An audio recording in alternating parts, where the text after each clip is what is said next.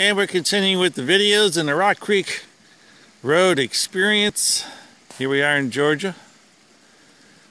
Uh, maybe about five or ten miles from the beginning of the Appalachian Trail, Springer Mountain, Georgia.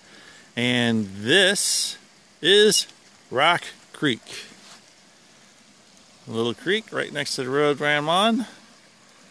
There's my little cool Mini Cooper, which I've been bringing with me since Texas. And uh, there's the road I was just on. So look at this. Rock Creek.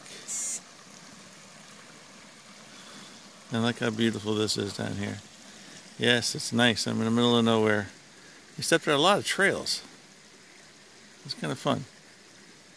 All right.